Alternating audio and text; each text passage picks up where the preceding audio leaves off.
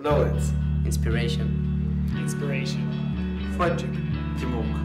Fun. Way of life. I cannot describe Vulcan in one word. It's my life.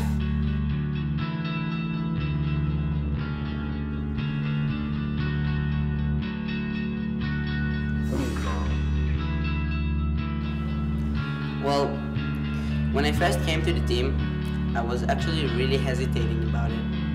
It was a new place for me, new people for me. I remember that moment just before I joined the team, I was telling myself, maybe it's not for me. Perhaps I won't fit in.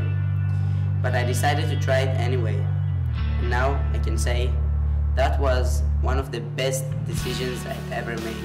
The true magic of Vulcan is that you will immediately feel as a part of a team, as a member, as a friend, uh, as a part of a family. It's a about creativity and thinking out of the box. I remember coming back home at like 3 o'clock in the morning, seeing my father waiting for me. I asked him, what do you think about the robotics thing? He told me he never saw me that excited and enthusiastic about anything in his life. I volunteered with that for love communications in uh, 2013. It was very meaningful to me because I got to see first from a different perspective. So every year our school is having a big festival and we are bringing the robot that we built at that year to the festival, letting the kids, the younger kids, to drive it and really giving them the FRC spirit and excitement. And that's a big honor. Ever since I was in seventh grade, my brother, the head of the mechanics, inspired me to join the FRC. In Vulcan, we believe that anyone should have the possibility to be a part of this world called FIRST.